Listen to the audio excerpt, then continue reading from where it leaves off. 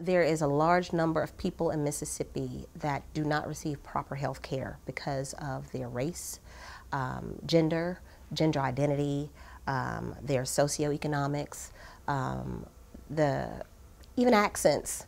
There are lots of reasons that people just feel off put by other people. And healthcare is the last place on earth you want to be where someone is not giving you everything that you need.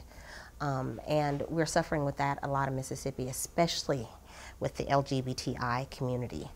And it was a really big void. And because we're dedicated to creating a culture of wellness, not just in Mississippi, but the entire nation, we had to create the clinic. And thus, here we are. And in February, uh, we celebrated our one year anniversary.